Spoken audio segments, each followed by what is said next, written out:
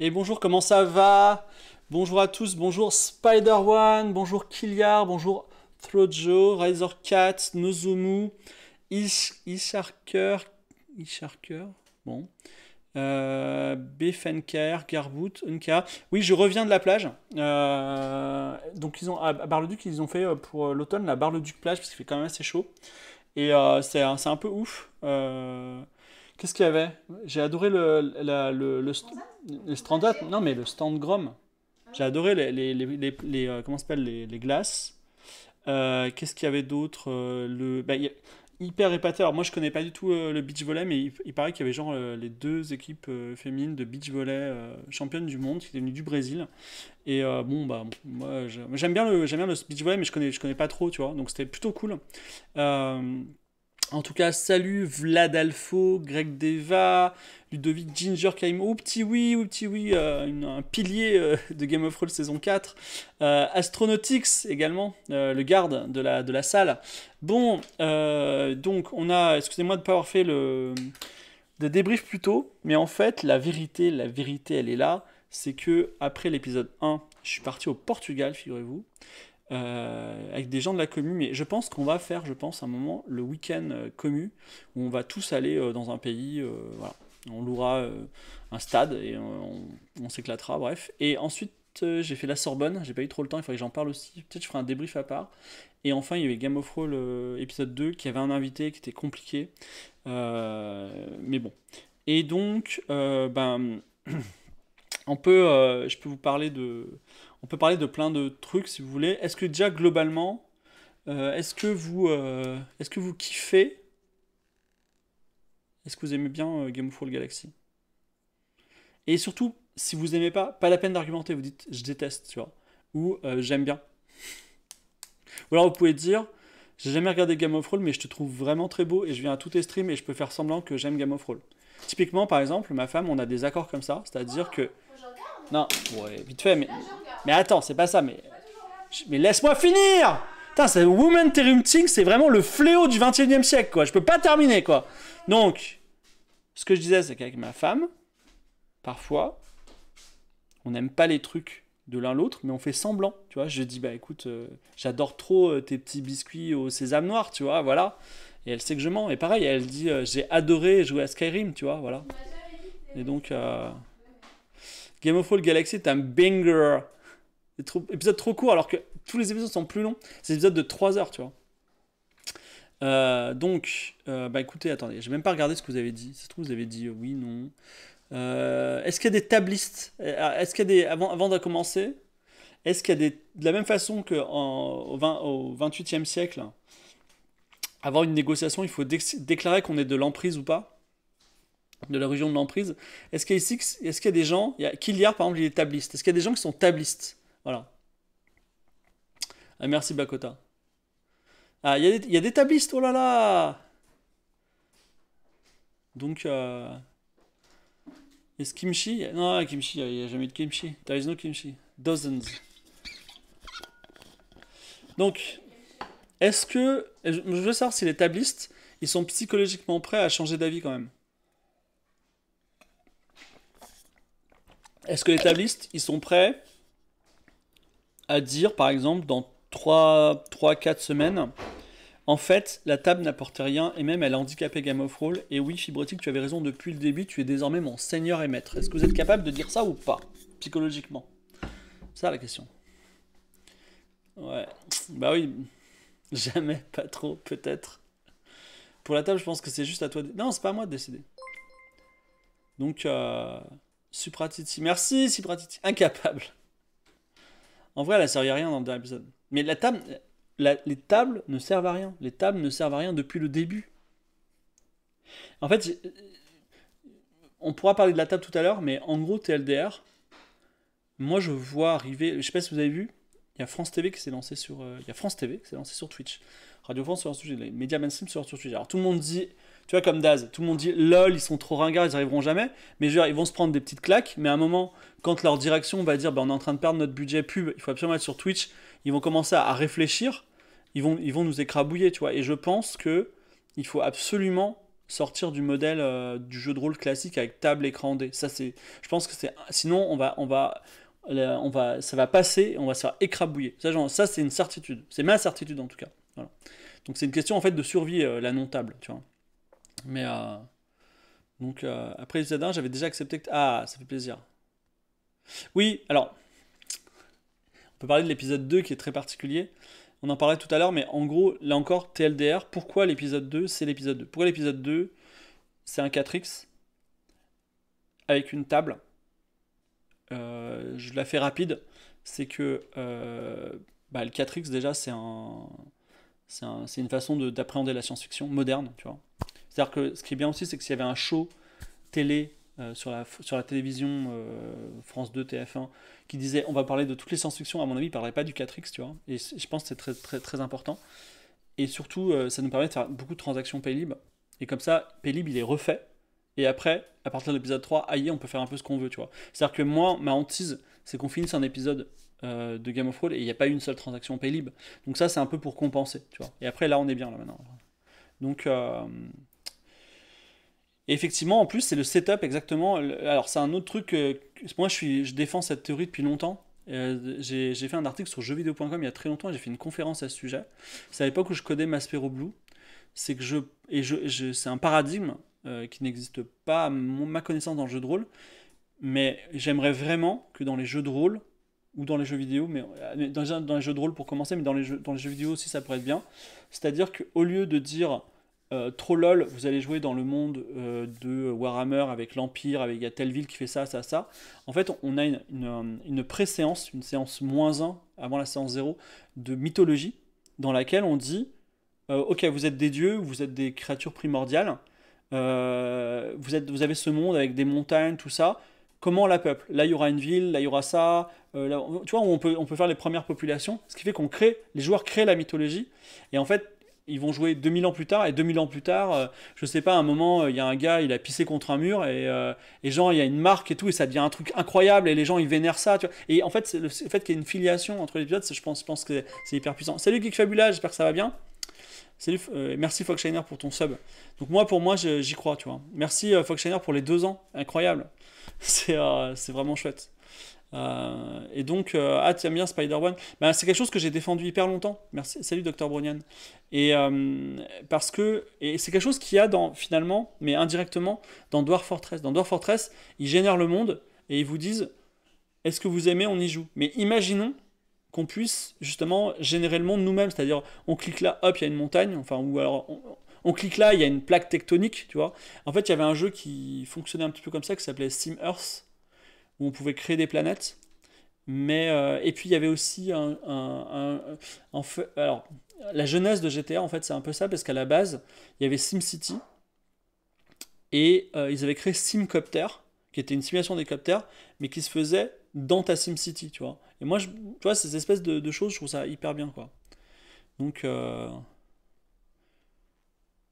allez JDR qui s'articule sur des périodes très longues c'est jamais eu ça. Alors ça, se fait assez peu parce que les gens veulent attacher des choses, mais pour la culture générale, il y a un, je l'ai là-bas d'ailleurs, il y, a un, jeu de rôle hyper bien qui s'appelle Pendragon sur la légende du roi Arthur, comme son nom l'indique, qui est un jeu de rôle dynastique, c'est-à-dire que il va y avoir 10 séances, et à chaque séance, tu joues, tu as une partie aventure, une partie royaume, et tu joues une génération. C'est-à-dire que la séance d'après, quoi qu'il arrive, quelle que soit l'issue de ta, première séance, tu joues les enfants de la génération d'au-dessus, tu vois. c'est, euh, tu vois, c'est marrant parce qu'on dit souvent, ouais, le jeu de rôle c'est trop créatif, on peut faire plein de trucs, et finalement on voit, enfin, c'est pas, c'est pas si créatif que ça, tu vois. Il y a, y, a, y a une marge énorme à faire. Et c'est pour ça aussi que je pense que quand on fait du jeu de rôle de façon très classique avec les marqueurs table, dés, écran, qui n'ont pas bougé depuis 50 ans, bah, à un moment, il faut, il faut se bouger, tu vois. Il faut, euh, il faut dire, euh, ok, c'était cool, mais on change un peu. Après, il y a, y, a, y a, aussi beaucoup de, beaucoup de choses approximatives qui fonctionnent pas. Tu vois, par exemple, l'IA, ça fonctionne mille fois mieux que ce que je pensais. Par contre, les dés, c'est trop naze. On n'a pas de solution encore pour les dés. On, n'a pas, on, a, on, a, on a constaté le problème du dé, on a constaté le problème du placement caméra. C'est des problèmes qu'on a constatés. On va essayer de les résoudre, tu vois. Mais euh, c'est... Oui, ça, en jeu, il y en a. en jeu vidéo, il y a plein de, trucs dynastiques. Le premier, c'était Rock Dynasty, et je crois qu'il y a. Euh, Il y a bah, Massive Calice, qui est sur le Game Pass.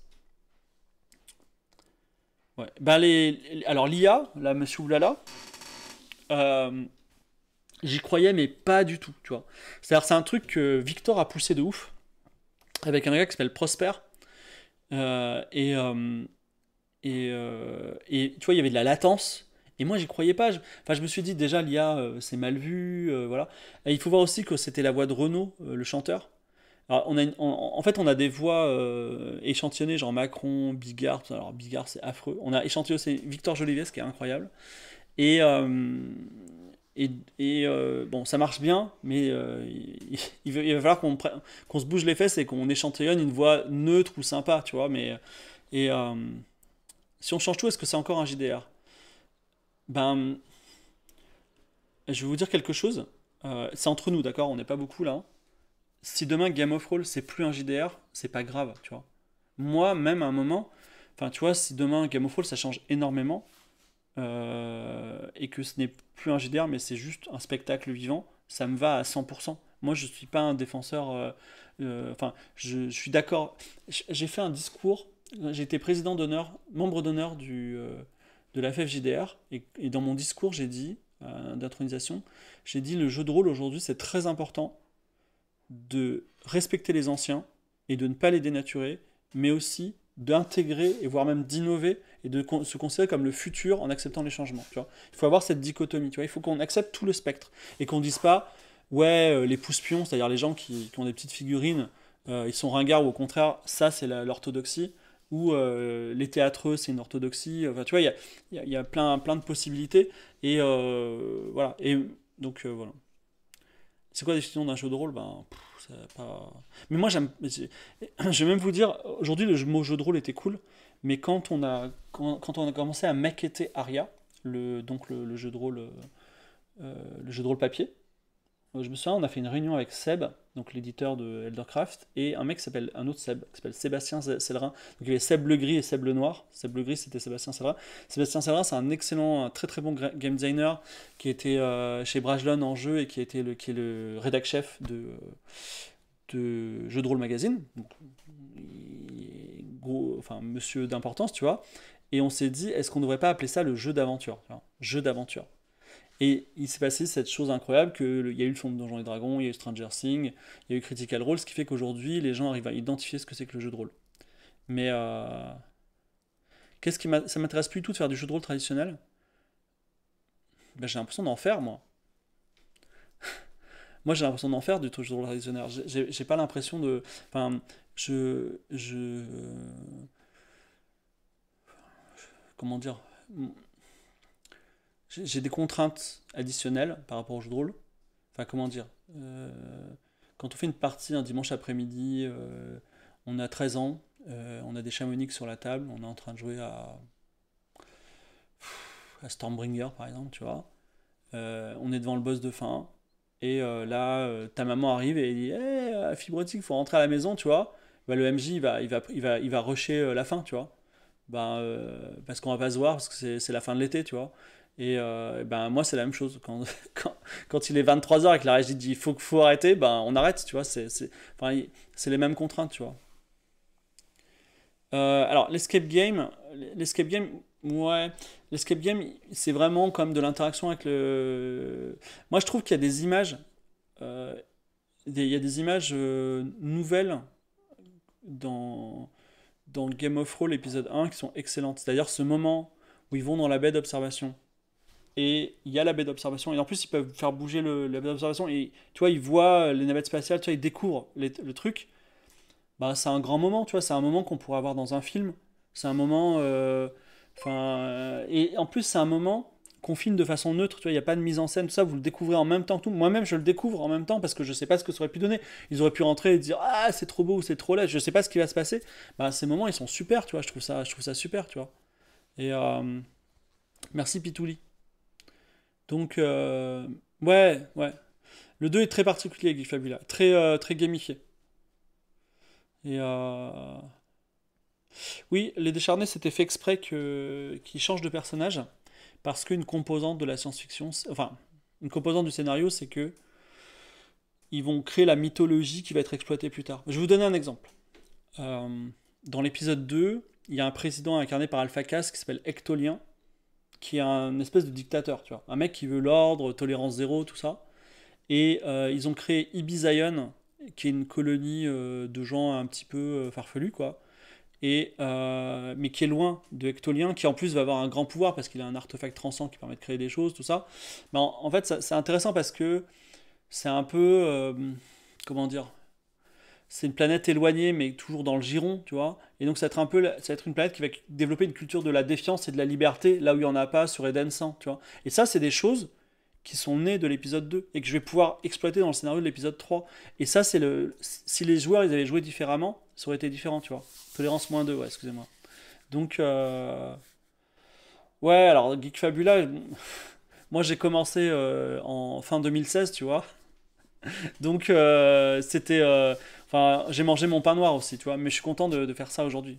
Après, ce qui est cool aussi, c'est que c'est payé par des sponsors. Euh, c'est ça aussi. Et euh, je dois vous dire quelque chose, euh, on en parlera peut-être Guy Fabula au repos, mais aujourd'hui, en, fait, Game of Thrones, ça arrive très vite à saturation en termes d'espace mental et de capacité de travail. C'est-à-dire que on va faire des OPSP en plus des, des régulars, tu vois, et, j'ai plus de temps. Enfin, je peux plus faire d'OPSP. À un moment, un moment on dit juste euh, est-ce que vous pouvez payer plus cher que l'autre? Parce que sinon euh, on n'a pas, pas de bande passante, tu vois. Merci Mara des Bois. Et donc, euh, ouais, alors MJ Ultra créatif. pour l'instant, j'ai pas, pas fait preuve de créativité, mais je pense qu'à l'épisode 3, ça va être cool. Honnêtement, je veux pas.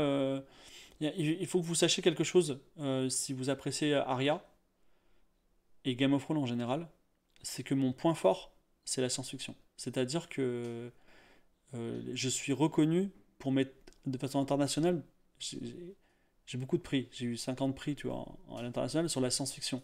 Donc, euh, on va dire avec la fantasy, j'étais que j'étais qu'à 10% de mon potentiel, tu vois. Non mais ce qui est cool, voilà. Donc c'est, euh, je pense que ça, je pense que ça peut être très très bien parce qu'aussi, je vais, pour le coup, je vais pas dire ta gueule c'est magique, tu vois. Je vais dire, Ok, vous enfin, tu vois, si vous avez des questions sur l'univers, je peux répondre à tout de façon euh, microscopique. C'est-à-dire, euh, pour moi, j'essaie de faire des univers de science-fiction cohérents, tu vois.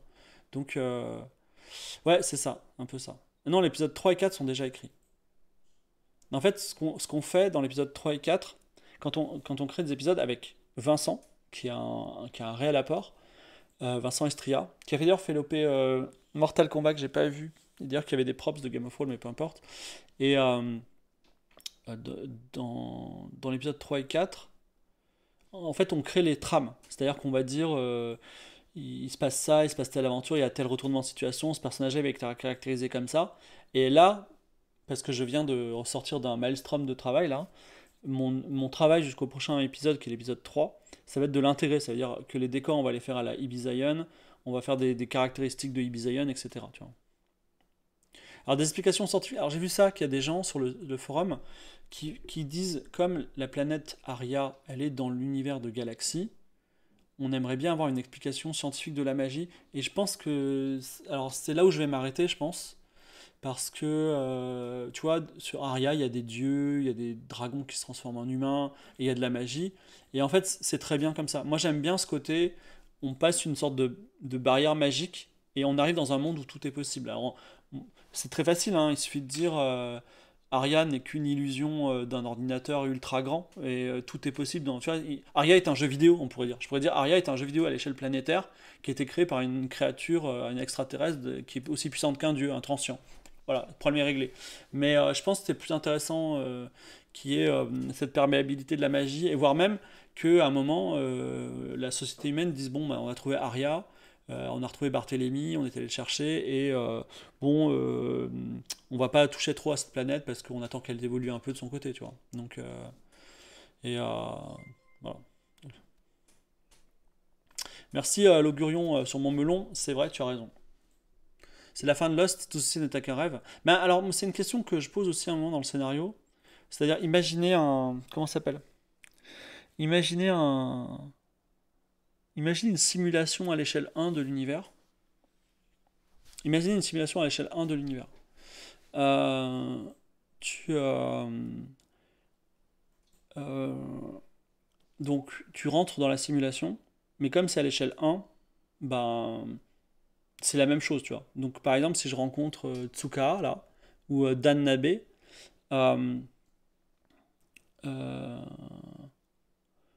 en fait, ils sont exactement à l'identique de la réalité. Ils vont avoir les mêmes peurs, tu vois. Il va avoir, il va, il va avoir, il va exprimer les mêmes choses, les mêmes. C'est une simulation à l'identique.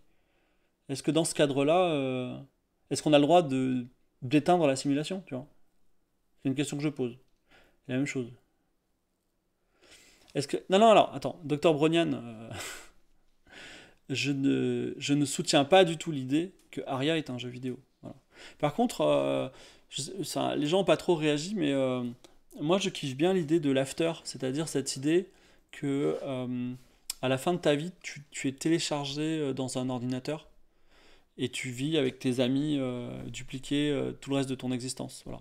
Le prochain épisode aura des vibes cyberpunk dans la mesure où c'est dans une grande ville verticale, il y a du trafic d'humains, il y a des, il y a des psys, il y a des, euh, il y a, des, des, deals un peu shady, tu vois, c'est un peu, ça va être punk, ça va pas être cyber à fond parce que moi j'aime pas trop, moi je considère que l'informatique, enfin, faut voir que cyberpunk, c'est très connoté années 80, même s'ils l'ont un peu mis à jour, maintenant ils ont rajouté le Wi-Fi, mais à l'époque, dans les règles classiques de Cyberpunk et de Shadowrun, il n'y a pas de Wi-Fi. C'est-à-dire que tu es obligé de te connecter physiquement un terminal pour pouvoir euh, faire quelque chose. quoi.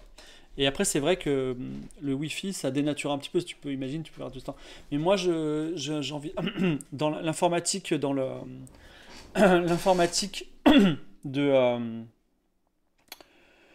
l'informatique du monde de 2711 euh, dans l'univers, c'est en fait euh, c'est une omniprésence invisible. Tu vois, c'est un peu les objets connectés, à part que tous les objets, les objets sont tous connectés entre eux.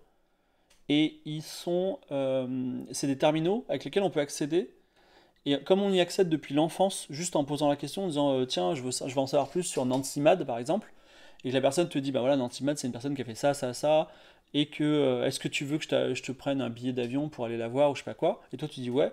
En fait c'est tellement perméable que euh, un peu comme nous on a des interrupteurs depuis toujours qu'on n'imagine pas une maison sans interrupteur avec l'électricité tu vois et, on et en fait ça, devient mais, mais la, différence de l'interrupteur qui est une aide visuelle là la, comment s'appelle on a comment s'appelle on a c'est une surcouche intellectuelle euh, immense et d'ailleurs, c'est intéressant, euh, euh, puisqu'il y a Dr. Bronian qui est un, qui est un matheux là, c'est que les, mathématiciens sont les universitaires les, les moins. Euh, comment dire les, les, Enfin, c'est quasiment des, des, des, administrateurs, les chercheurs en mathématiques, parce qu'en fait, les IA en, permanente, en permanence font de la recherche qui ne. Elles font de la recherche et les humains trient leurs résultats en disant ouais c'est pertinent, c'est pas pertinent, mais ils font plus de recherche eux-mêmes parce qu'ils sont, sont fatalement moins puissants que les, IA qui recherchent. Et euh, il y a aussi euh, un autre truc par rapport à ces IA, euh, c'est qu'en fait, enfin, c'est une IA qui est slash Wikipédia plus plus, tu vois, mais c'est une Wikipédia qui n'a aucune entrée faite par l'homme. C'est-à-dire que tu ne vas pas, tu ne vas pas ouvrir, dire ah tiens j'ouvre un article et dans cet article il y aura ça, ça, ça. En fait les articles se font eux-mêmes parce que comme tout est connecté, en gros, juste avec les caméras de surveillance dans des aéroports, les IA peuvent parfaitement savoir l'activité économique euh, d'un secteur, d'une nation, également les, les, les, les, transferts de population, les populations en absolu, tu vois. Donc en fait, on ne leur demande même pas, ils le font eux-mêmes. Donc euh, ça, c'est un petit peu... Euh, je trouve ça intéressant. Après, c'est des idées, on peut en parler euh, pendant le jeu de rôle, tu vois, mais c'est du lore. On, pourra faire des sessions lore, le monde en 2500, voilà. Mais bon.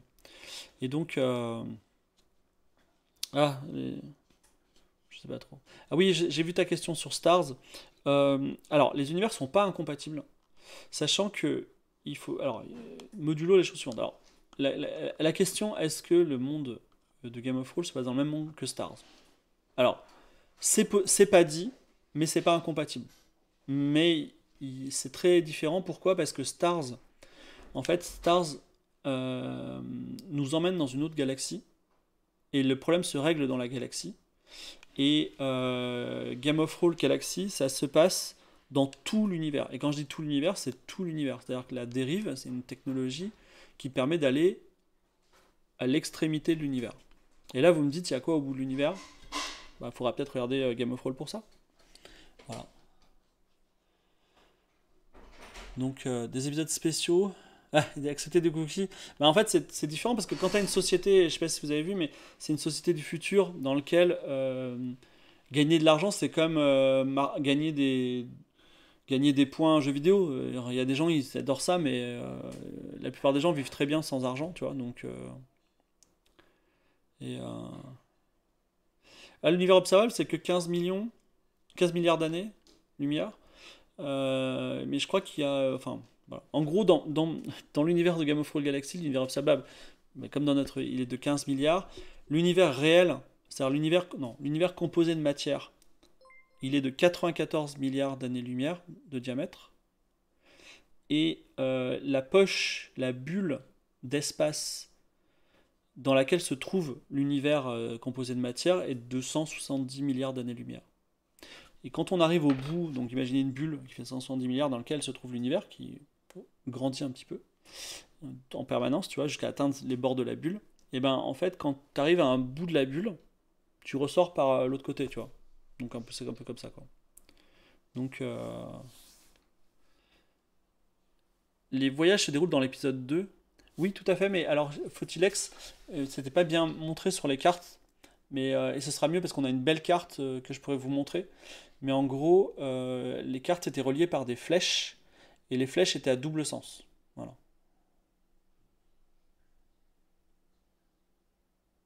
Ah, c'est 91 milliards d'années-lumière de, de, ça. Ah oui, voilà, oui, bon. En tout cas, c'est un peu les, données que, j'ai données. Il faut les donner. Euh, voilà, mais bon. Donc. Euh, la fédération de Star Trek, la t-shirt pyjama. Euh, le. Alors, ce qu'il alors l'univers de la société humaine de 2711, on pourra en parler aussi. J'appelle ça French Republic Punk. C'est-à-dire que c'est un univers à la Star Trek où, euh, par exemple, on va te dire, euh, on va te dire, euh, si tu es citoyen, tu auras à manger tous les jours, tu seras logé, tu seras, auras des soins, tout ça. Mais dans les faits, tu es citoyen, tu arrives à l'hôpital et on te dit, bah, il n'y a plus de place, tu vois comme en France. Faut que tu attendes des plombs, tu vois. Ou alors vraiment, tu vas dans le resto, et le resto, tu as l'endroit pour les citoyens où tu as le menu du jour pour les citoyens, et tu as un menu super classe, mais il est payant, tu vois. Et donc, il y a vachement de gens, ils disent Ah putain, j'ai envie de me faire un petit menu payant, tu vois. Donc c'est un peu ça l'idée. Et, euh, et, pareil, tu vois, il y a des juges, par exemple, pour, pour, euh, pour qui parce qu'ils ont découvert la, technologie psy, et dans le futur, les juges sont télépathes. Donc quand tu, tu vas devant un tribunal, et que tu dis monsieur le juge c'est pas moi tu vois le juge il sait si tu mens ou pas il voit exactement ce qui se passe dans ta tête et euh, mais ça n'empêche pas les juges ben, d'être des feignants de pas arriver à l'heure de s'en foutre de dire putain il me parle mal c'est quoi? Il me parle mal je sais qu'il est innocent je vais comme donner 2-3 jours tu vois. C'est un peu ça tu vois parce qu'en en fait on reste humain c'est un peu ça l'idée. C'est à dire que c'est une société qui est quand même dysfonctionnelle mais qui veut au moins en apparence être euh, utopique tu vois. Et donc. Euh, ah non, bah euh, en fait l'épisode 2 c'était clairement un, épisode de 4X donc ça ressemble à Stellaris. J'ai joué très peu à, Stellaris, peut-être une minute, euh, une heure ou deux. J'adore la musique mais c'est des jeux très stressants pour moi parce que faut vraiment avoir tout en tête et j'ai un peu de mal quoi. Ça ne reste pas une méritocratie. La valeur principale c'est les citoyennetés. C'est-à-dire que si tu te comportes bien, on a dit les règles en fait à la fin de l'épisode 2. Il faut que euh, il faut que tu considères les xénos comme, euh, comme des égaux et que tu ne les exploites pas. Euh, il faut que ben, tu fasses pas de mal à ton prochain. En gros, tu vois, les, vraiment les règles de base constitutionnelles. Bah après, c'est pas. Quoi, voilà ma mère, bien sûr, tu peux dire ça. Idée à Troopers. Oui, la citoyenneté. la citoyenneté, elle est intéressante parce qu'en fait, c'est ça, j'en ai parlé aussi un peu sur la fin, c'est que la pire chose qui puisse arriver dans ce monde du futur, c'est une suspension de citoyenneté. La suspension de citoyenneté, ça veut dire que tu n'es pas citoyen, ça veut dire que tout d'un coup, tu es obligé de travailler pour, euh, pour, euh, pour manger dans un restaurant, tu vois.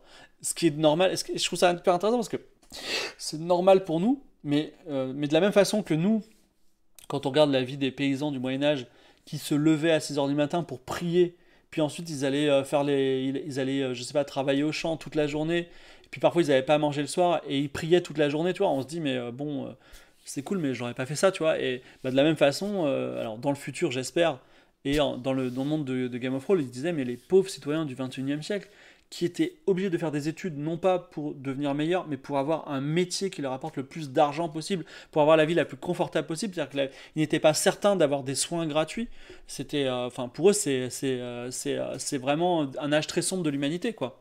Et donc, il y, a, très, très, très peu de xéno belliqueux parce que je voudrais aussi que, je voudrais aussi que, en fait, je voudrais que les xénos soient aussi différents en apparence qu'en mentalité. Et j'essaie de penser euh, différent des humains, les humains ils mentent beaucoup, ils essaient toujours d'avoir plus de territoires, qui soient des territoires mentaux, euh, des territoires réels, des territoires de, possession, euh, voilà. Et, donc, voilà, c'est pour ça que les, les xénos ils seront pas belliqueux, parce que la notion de guerre, c'est une notion qui, qui est qui est bizarre, tu vois. Ça, ça, ça, en fait, pour eux, ils vont, ils vont dire c'est un effort inutile. Mais d'un autre côté, par exemple, ils n'ont pas aussi la notion de propriété. Donc, tu, il va venir chez toi, il va voir un beau tableau, il va dire oh trop beau, il va, il va partir avec sans même te demander la permission parce que pour lui, il a vu un truc beau, il l'a pris, tu vois. Et euh, c'est euh, voilà. Euh, j'ai lu The Expense. Oui, bah après les systèmes de revenus universels de base, c'est voilà. Donc il y a y a des chances plus chanceux historiquement que les boomers j'imagine mais de toute façon il, y a, a plus de maladies dans le futur non plus tu vois et, bah, tous les xénos sont il y a autant de mentalité que de xénos tu vois. Et euh, et donc il y a ça et il y a quoi d'autre? Il y a il y, a, il y a aussi l'after je trouve intéressant. Donc vous vous téléchargez dans l'after. C'est-à-dire qu'en fait, il y a la grande peur, qui est une peur paradoxale des humains du futur, c'est de mourir avant de se télécharger dans l'after. T'as un accident, euh, il y a une poutre qui tombe dessus, tu meurs, tu ne t'es pas téléchargé dans l'after, donc tu ne vivras pas. Euh, d'une part, tu ne vivras pas euh, après ta vie, tu vois. Et d'autre part, tu. les gens qui t'aiment et tes, tes, tes, parents, euh, tes, tes grands-parents qui sont déjà dans l'after, tu vois, c'est des gens qui ne pourront pas non plus te retrouver dans l'after. Donc c'est un... En fait, quand tu meurs aujourd'hui que tu as juste tes parents, il y a juste eux qui te pleurent, mais là tu vas avoir genre 18 euh, générations qui vont être tristes, tu vois. Et euh, si l'after est si bien, pourquoi c'est pas si téléchargé direct? Ben, tu peux t'y télécharger à partir de 40 ans, je crois.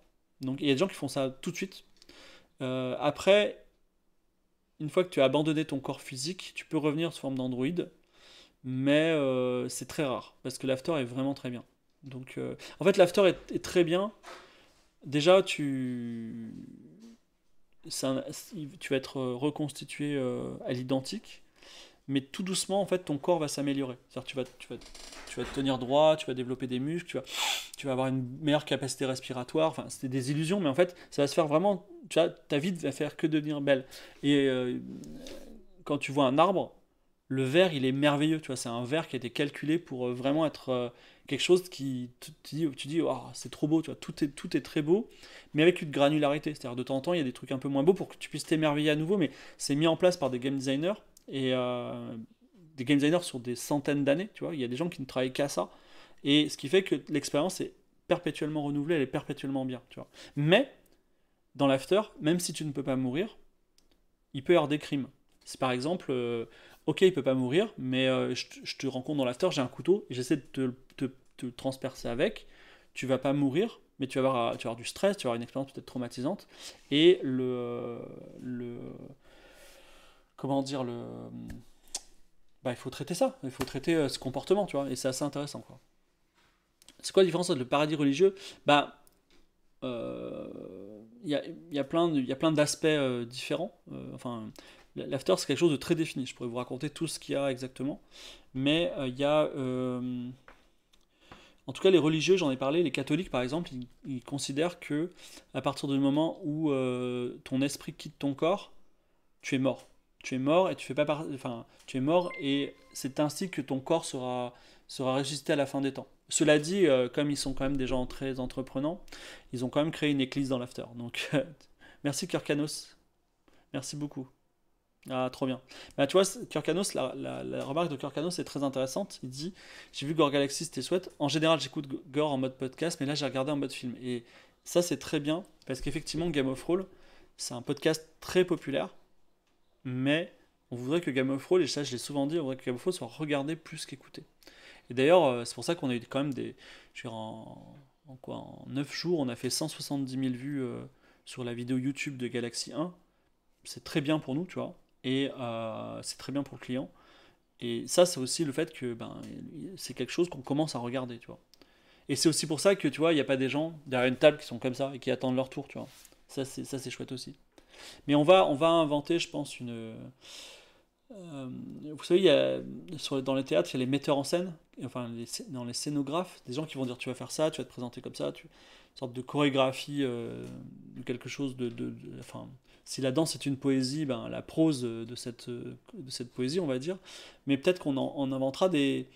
Tu vois, par exemple, euh, si je laisse je sais que si je laisse traîner un, flingue, il y a Das qui va le prendre, qui va jouer avec, tu vois. Et en fait, c'est des choses qui sont intéressantes. Peut-être il faut inventer des des façons, euh, des, des, des, idle animation, on dirait, dans le jeu vidéo, où ils font des choses pour, pour que ça anime l'écran.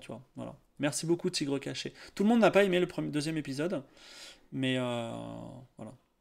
Oui, alors ça, euh, entre autres, les croix par terre, la position du MJ, la position des caméras, c'est des choses qu'on va faire, tu vois. Tout à fait. On ne sait pas si on est une. En fait, moi, Indigo, j'irais même plus loin que ça. Moi, Indigo, il dit et ça, c'est un truc aussi dont on va parler épisode 7, je crois. Euh, Onigo, il dit qui, qui nous dit qu'actuellement on n'est pas des copies de nous-mêmes dans des simulations? La, la, formulation la plus exacte, c'est s'il existera un jour, s'il existait un jour, des simulations parfaites de l'univers dans lequel on vivait nos vies ultérieures. Il est beaucoup plus probable, vraiment beaucoup plus probable, de l'ordre de plusieurs trilliards euh, une chance sur plusieurs trilliards, tu vois, beaucoup plus probable que euh, on soit dans une simulation qu'on soit dans la vie réelle. Parce que si on est dans une simulation, bah, prenez par exemple le cas de Skyrim, imaginons qu'on soit des personnages de Skyrim, et qu'on se dise, mais est-ce qu'on est dans un jeu vidéo? Et eh bien, en fait, si c'est le cas, et, et ben, ça veut dire qu'on est à 27 millions de copies. C'est-à-dire que c'est 27 millions de fois plus probable qu'on soit dans, dans, la réalité qui s'est passée autrement, tu vois. Donc bon, c'est... Des caméras à l'épaule, ouais, mais euh, le problème de Plobel, Plobel, les caméras à l'épaule, c'est que caméra à l'épaule égale euh, humain. Et euh, ça reste quand même. on, a, un bon budget, merci Pélib, mais on n'en a pas énormément. Voilà. Donc. Non, la simu. Mais déjà, il y a un truc qui. Comment dire?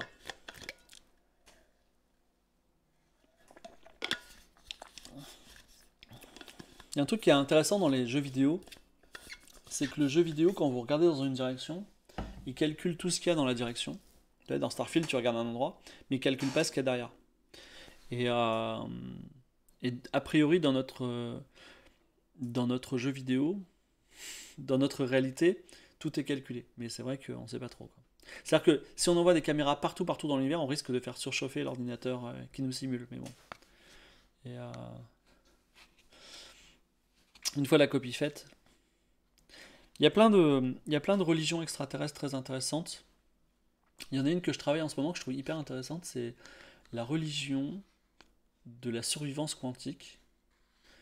C'est un petit peu euh, prétentieux, mais euh, j'aime bien la terminologie. En gros, c'est une, religion qui dit que pourquoi, pourquoi on vit dans un monde, pourquoi chacun de nous, on vit dans un monde, dans un monde où vous survivez alors que les autres meurent. C'est-à-dire que vous, vous, vivez, vous avez des gens, proches ou non, euh, comme Galabru par exemple. Galabru, il est mort et vous, vous êtes en vie. On pourrait penser que Galabru devrait vivre et vous mourir, tu vois. Et comment ça se fait alors, il y, a une, réponse très simple à ça. C'est que de toute façon, si vous vous mouriez, vous ne pourrez pas constater la mort des autres.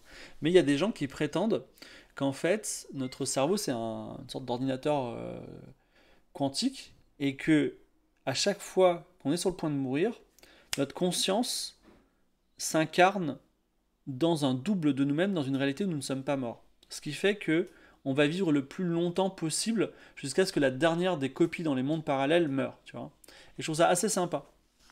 Et, euh, et euh, je trouve ça assez sympa parce que, euh, en fait, parmi les quêtes, je sais pas si je la mettrais, mais en gros, si quelqu'un meurt, on pourrait imaginer que les héros aillent chercher, enfin, créer un robot pour, pour avoir sa conscience, mais aillent chercher sa conscience dans les différents mondes parallèles, par exemple. Mais bon, c'est. voilà.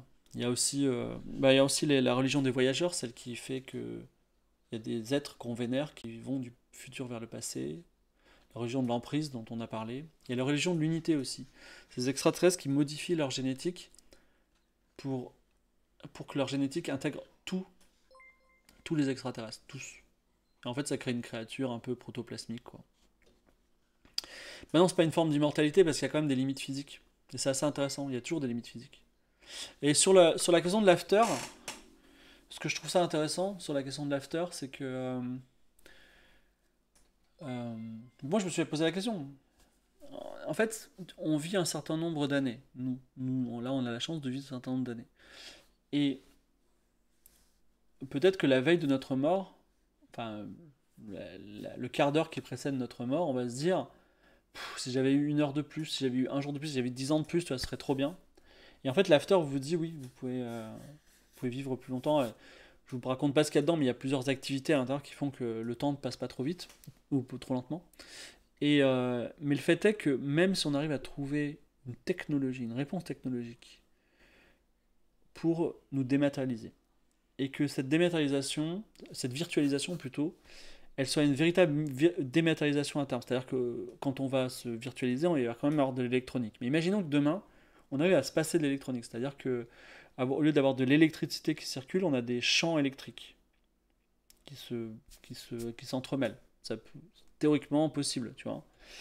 Euh, le fait est qu'il y a quand même ce moment très lointain euh, dans l'univers, tu vois, où euh, en fait il n'y aura plus d'énergie dans l'univers du tout. Il n'y aura plus d'étoiles, il n'y aura plus de, en fait, il y a un moment, il y aura même plus de particules, tu vois. le proton, il a une demi-vie euh, très longue, mais à un moment, elle disparaît, tu vois. À un moment, dans l'univers, il n'y a plus rien. Et seul émerge du vide de temps en temps par les fluctuations quantiques des choses. C'est très intéressant parce que dans l'infini, euh, dans l'infini de la fluctuation quantique, on peut faire apparaître euh, n'importe quoi. Donc on peut totalement faire apparaître des gens, on peut faire apparaître vous en train de regarder un ordinateur dans lequel il y a un stream de fibre optique pendant quelques secondes et peut-être que vous êtes une, illusion d'une fluctuation quantique. Mais ce que je veux dire, c'est que qu'on ait vécu 100 euh, ans ou 5 euh, milliards d'années, en fait le résultat il est le même à la fin. Enfin, on disparaît pour toujours, tu vois. Et euh, c'est très étrange. Ouais, il y a des sécurités. Alors, c'est même, même très rigolo parce que l'after, il y a des L'after, c'est la, en fait, l'after, c'est la propriété la plus précieuse des humains. Et les transients sont les gardiens de l'after, tu vois. Et euh, la, le, euh, ce qui est marrant, c'est que. je sais pas si j'en ai parlé. Si, j'en ai parlé. En gros, euh, les serveurs d'after, ils sont, ils sont sous la croûte terrestre. Et ils descendent petit à petit, tu vois. Et ils sont alimentés par les, les, les chaleurs magmatiques, tout ça. Et en fait, à un moment, dans l'explication du lore, c'est des choses qui vivront pas. Il touche un truc, et en fait c'est un autre serveur d'after d'une civilisation précédente, qui s'est complètement euh, téléchargé dans un after qui a fait la même technologie, mais simplement, euh, voilà, il se touche un peu, tu vois. Donc, euh, d'inflation en pièces d'or, ben en fait, je sais pas trop. Alors là, Curvinoy, le truc c'est que les inflations en pièces d'or, l'inflation elle est inévitable. C'est-à-dire que l'inflation, elle peut être en pièces d'or. Moi, elle est en pièces d'or chez moi, parce que on est dans un jeu de rôle euh, non de, de, pas de combat, tu vois. Mais en fait, demain, euh, sauf dans les jeux psychologiques, par exemple, un livre dont vous êtes l'héros comme euh, Loup solitaire. Non. En fait, il y, a des, y, a des, y a des contextes, il y a des jeux de rôle dans lesquels. D'accord. Il y, y a des jeux de rôle euh, il y a des contextes de jeux de rôle dans lesquels tu vas avoir des mobs de base qui sont plus puissants que des boss, alors que c'est des mobs de base, parce que simplement ton personnage il aura, il aura augmenté et tu dois te tu dois conserver une tu dois conserver une un challenge permanent, tu vois. Ça c'est toujours mais le concernant Paylib euh, bref.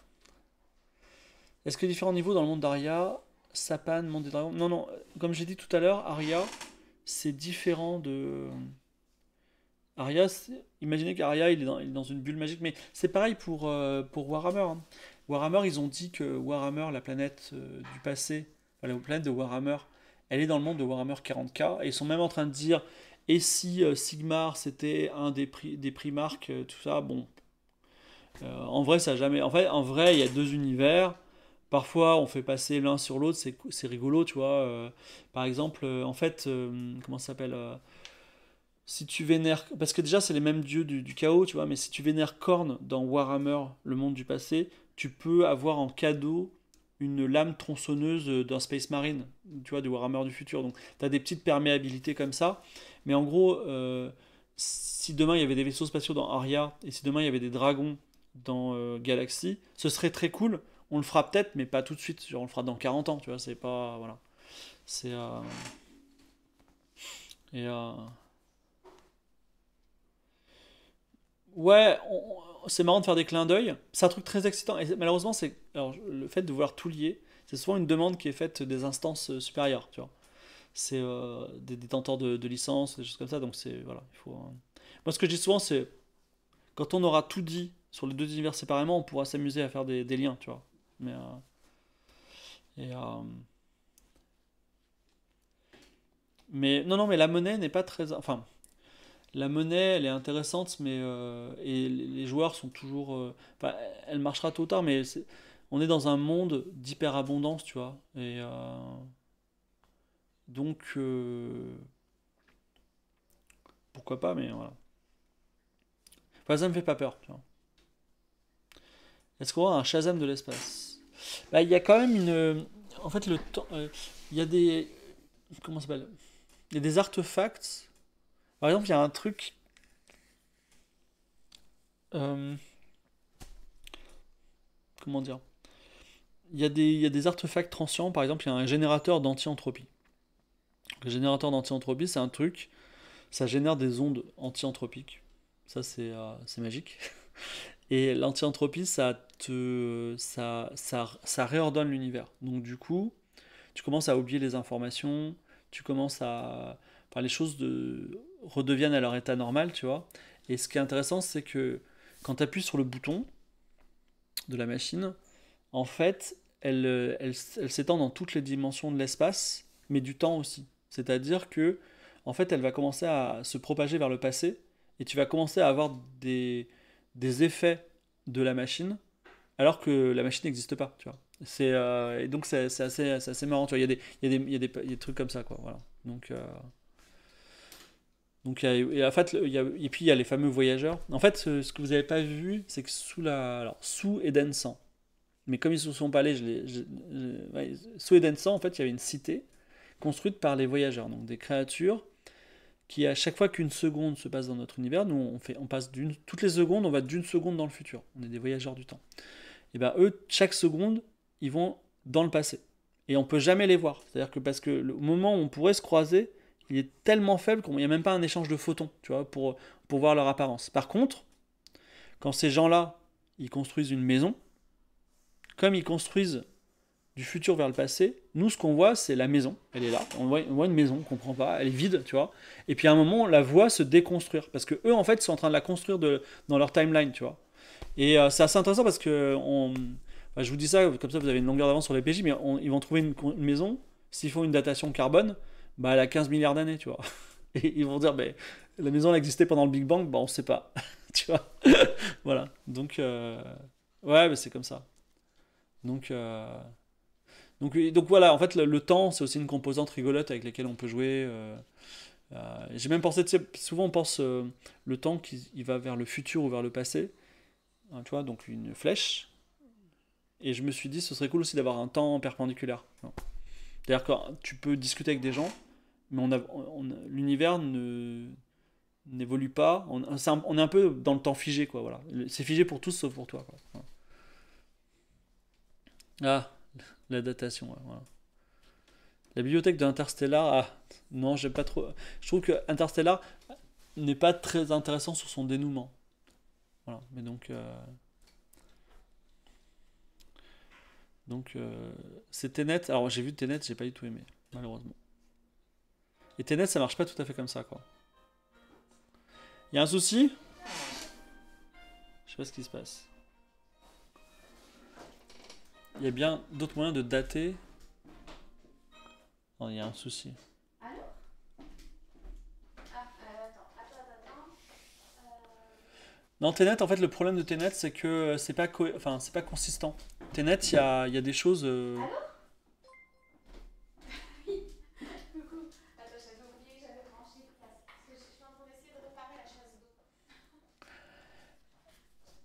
Ma femme est en train de parler tranquillement, elle passe là. Ok. Euh, ouais, j'ai pas trop aimé Tenet. Quel est mon film Nolan préféré? Alors moi, malheureusement, j'étais euh, déjà, je suis pas un mec qui aime les films. Enfin, j'aime plutôt j'irais. Ouais, le micro capte bien Kratu, ouais, c'est très bien. Bah, je sais pas ce qu'elle fait. euh. Mais moi, en général, j'essaie de streamer quand elle est pas trop là. Mais bientôt, bientôt, on envisage de créer un studio, euh, un studio de stream. Comme ça. L'entropie inversée qui fait du feu, qui fait de la glace, ça m'a dérangé. Alors, dans TN, c'est un des rares trucs qui est plausible. Parce que l'entropie, c'est quand même une notion qui vient de la thermodynamique. Mais en fait, si tu dis. En fait, dans Tenet, le problème, c'est que c'est. J'ai fait un thread sur Twitter. Mais en gros, c'est que. Il n'explique pas les règles. Donc tout peut arriver. C'est très partiel et ça. Tu vois, par exemple, le feu qui fait de la glace. Why not, tu vois. Mais euh, dans Tenet, il y a cette idée de. À un moment, tu peux renverser le cours du temps, juste pour toi. Et tu dois prendre un oxygène particulier, de l'air inversé, tu vois, pour pouvoir respirer. Mais pourquoi Enfin, tu vois, par exemple, à un moment, quand, quand quelqu'un parle dans un téléphone et que tu l'enregistres, tu l'enregistres à l'envers. Et donc, tu es obligé de l'é- l'écouter à l'envers. Mais en gros, si tout était inversé, en fait, les, le téléphone pourrait même pas capter, tu vois, les ondes sonores, elles iraient à l'envers. Et de la même façon, en fait, tu pourrais même pas voir la lumière parce que les photons iraient à l'envers, tu vois. Si les oiseaux volent à l'envers, parce que le temps est inversé pour le photon devrait aller à l'envers. Tout devrait aller à l'envers, et donc tu pourrais rien voir, par exemple. Et le, c'est- enfin, ça marche pas. C'est-à-dire qu'en gros, ils décident hyper ponctuellement de choses qui vont à l'envers ou pas, et c'est pas, ça, ça a pas de consistance. C'est ça le problème, tu vois. Donc, euh, la scène, ouais, et en plus il y a une scène de guerre à la fin. Et tu vois, il y a des choses qui vont pas parce que euh, euh, un des, voilà, par rapport à la, déjà, euh, t'as une machine à voyager dans le temps. On parle de suite de guerre, tu vois, c'est très américain, c'est très très gênant, mais en gros, comment ça s'appelle?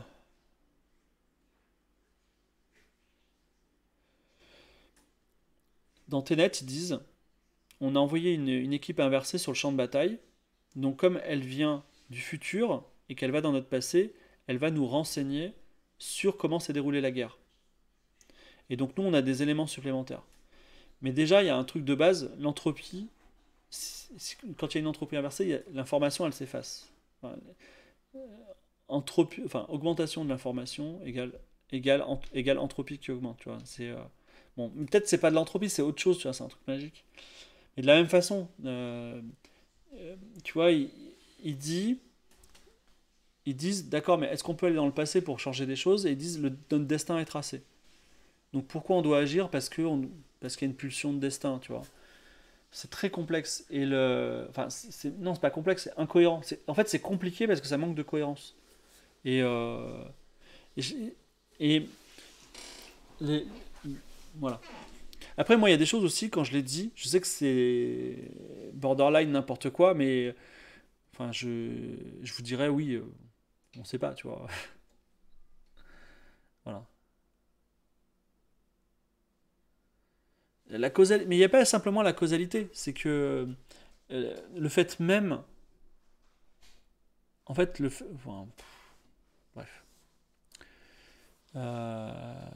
non, Après, c'est un film qui est plutôt joli, quoi. Il est pas impossible que je le regarde, tu vois. Ouais. Je sais pas. C'est très dur de pas aimer Nolan. Bah, moi, Nolan, euh, bah, Mem- enfin, Memento, il fonctionne. Alors, il y a un truc qui est bien, c'est qu'il fait des belles images. Memento, mais le scénario, euh, Memento, Memento, c'est un twist scénaristique marrant, tu vois. Mais donc il aurait pu rester à Shyamalan. Mais après, moi, j'ai trouvé que c'était quelqu'un qui avait peu d'imagination. Pour moi, la grande trahison, ça a été, euh, ça a été euh, Inception. Moi, je, je- honn- honnêtement, Inception, c'est un film qui a coûté très cher. Et je trouve ça fou. Inception, c'est on te dit, on va faire un film sur le monde des rêves. On va aller dans le monde des rêves. Et en plus, dans les mondes des rêves, on va rencontrer des gens. Et ces gens, on peut aller dans le monde des rêves des rêves, tu vois. Cette promesse, elle est incroyable. Et quand on arrive là-bas, dans le monde des rêves des rêves, qu'est-ce qu'il y a? Il y a New York.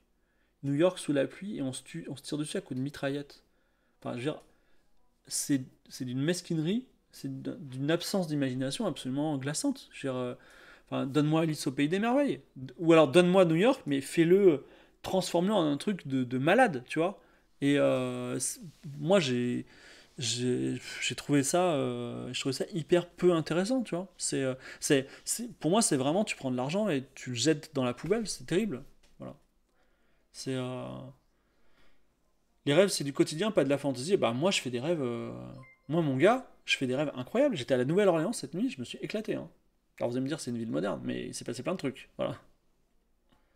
Donc non mais en plus je demande pas qu'il y ait un rêve genre ah il y a une enfin tu vois j'ai dit Alice au pays des merveilles mais ça pourrait être euh, en fait en plus il y, a une, science des rêves. C'est-à-dire que il y a une symbolique des rêves. Il y a des quand tu vois un quand tu vois une araignée ou quand tu vois un, je sais pas de l'eau qui coule ça veut dire des choses tu vois. Il y, a- vrai, y avait vraiment moyen de se poser et de dire gars fais-toi assister par deux trois gars t'as tellement de budget et on fait un vrai truc puissant sur là et là il y a rien il y a rien pas intéressant tu vois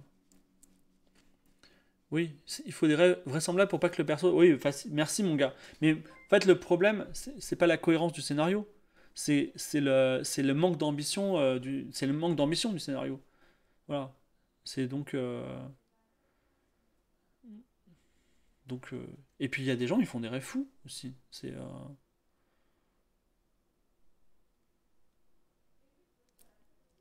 Le dévoreur de soleil, la notion de temps est très présente. Non. Le temps, c'est assez compliqué. En fait, moi, j'aime pas trop parler, j'aime pas trop, faire des scénarios sur le temps, parce qu'il y a toujours des petits nerds, tu sais, de la cohérence scénaristique. Qui, euh, Et moi, la cohérence scénaristique, je m'en bats les couilles. Vraiment. D'ailleurs, vous l'avez vu dans Game of Thrones, parfois, je me souviens pas des noms, tout ça. Pour moi, c'est pas très grave, tu vois. Parce que il y a quelque chose que j'ai appris, c'est que la vie n'est pas cohérente.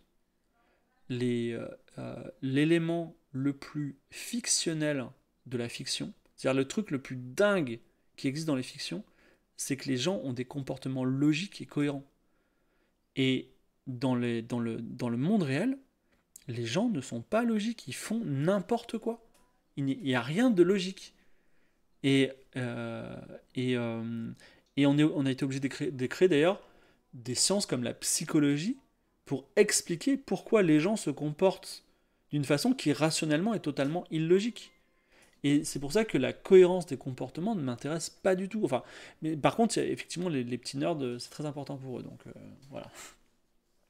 Il y a, il Que deviennent les ah, développeurs très, intéressant. Donc en 2700, le développement logiciel n'a pas de sens. C'est-à-dire que, qu'il y a, que ça n'a pas de sens.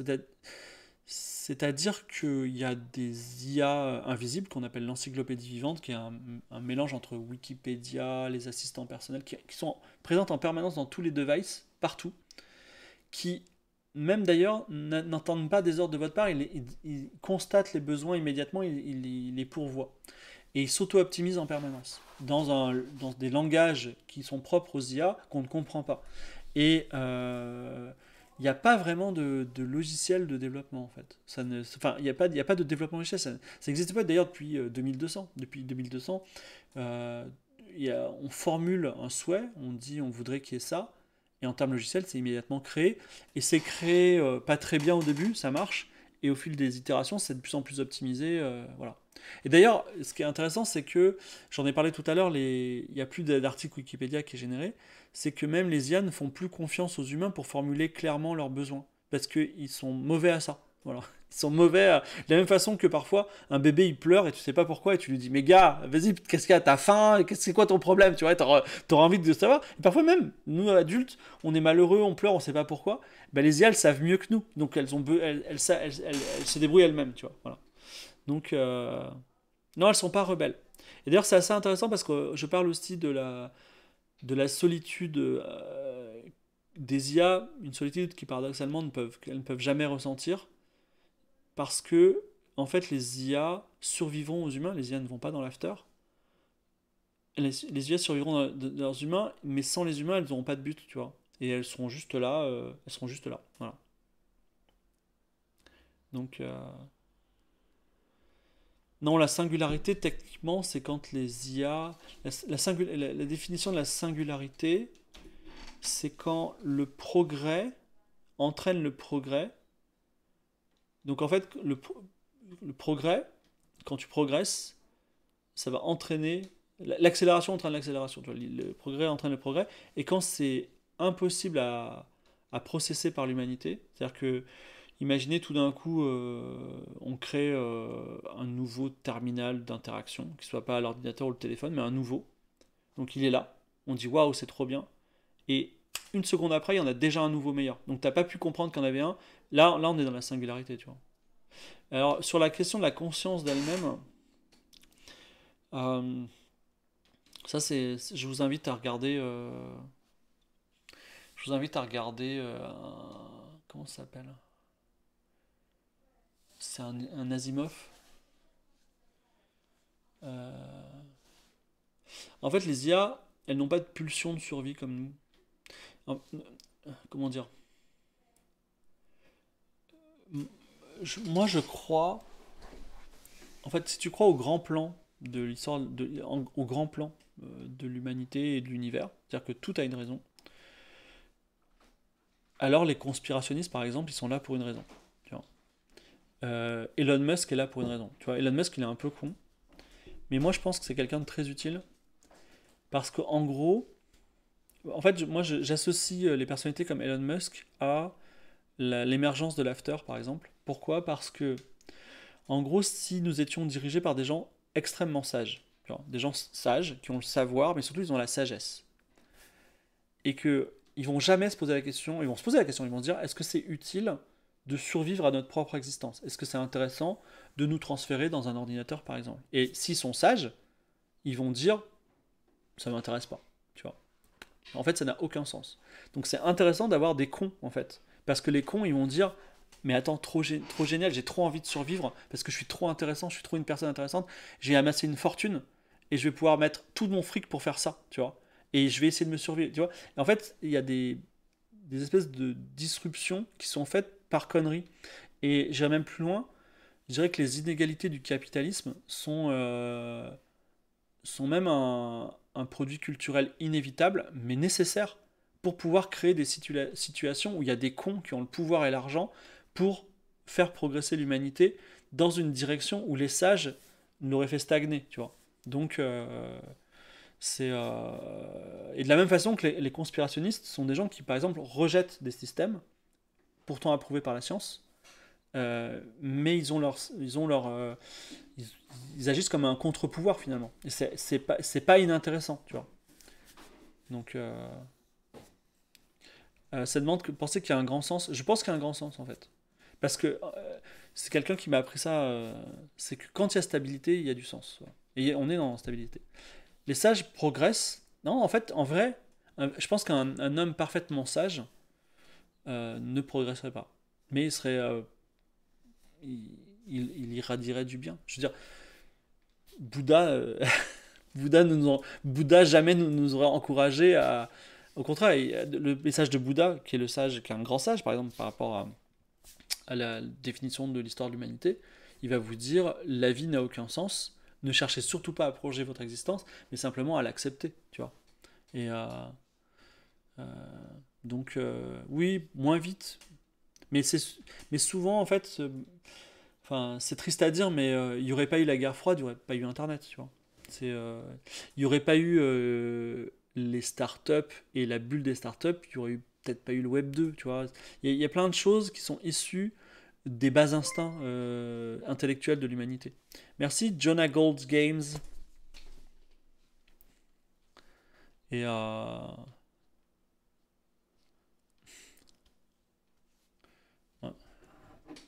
Bah oui, les guerres. Les guerres et, le sexe aussi. Donc, euh, voilà, mais en gros, c'est un peu. Mais c'est marrant parce que j'ai très peu parlé de Game of Thrones. Donc, maintenant, on retourne sur Game of Thrones. Donc, Game of Thrones, Galaxy, on est parti pour une, pour une saison. euh, saison. euh, comment ça s'appelle?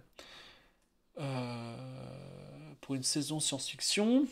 On n'avait pas de budget. Si, en fait, ce qu'on a fait, c'est que vous avez vu que de janvier à juin, on a fait beaucoup d'OP. D'ailleurs, j'ai payé ma TVA récemment. J'ai vraiment douillé. J'aurais dû peut-être acheter un ordinateur avant de la payer. En tout cas, euh, on a fait toutes ces OP Django, euh, Canal+, euh, Crédit Agricole. voilà, je sais pas toutes les OP qu'on en fait, on en a fait plein. Et même BPI, hein, c'était bien payé. Et on a mis de l'argent de côté. C'est-à-dire qu'on se payait et on a mis, on a mis de l'argent dans le, dans le cochon, dans la tirelire. Et euh, on avait de l'argent pour se payer des décors. Et là, venu comme un ange du ciel, euh, suite à l'OP Créécole, ben, Paylib dit euh, trop bien. D'autant plus qu'en fait, Paylib nous approche et euh, Créécole fait partie de Paylib. Et donc, euh, Créécole a dit Ah, mais vous travaillez avec Game of Thrones, trop bien, tu vois. Bon, nickel. Ça marchait trop bien, on était trop contents. Et donc, eux, ils sont hyper contents, ils étaient un petit peu sur leur, sur leur garde quand même. Et donc, euh, euh, on, a pu, euh, on a pu faire des décors. Les décors, ils sont faits par. Alors, je vais pas vous dire la boîte, je l'ai pas en tête, mais c'est genre la meilleure boîte qui fait les décors. Ça coûte assez cher. Et il faut qu'on parle des costumes. Les costumes, alors déjà, les costumes, ça a été compliqué, les costumes. Mais les costumes, c'est fait par la meuf qui s'appelle Juliette, je sais pas quoi. Euh, Je l'ai- mis sur mon Instagram. C'est la meuf qui fait les costumes de Mask Singer. Et alors, Juliette, si t'es là que tu nous regardes, Juliette, a- il y a deux miracles. C'est que, bon, je vais pas dire qu'elle était pas chère, elle était chère. Mais elle a dit, pas de problème, je le fais, en deux mois. Sachant que demander les mensurations à l'âme, euh, MV, DAS, tout ça, ça a été compliqué. Quand, on quand elle nous a dit, il nous faudra les mensurations, Victor et moi, on s'est dit, oh putain, il faut avoir les mensurations. C'est-à-dire que c'est compliqué d'obtenir des réponses dans certains contextes, tu vois.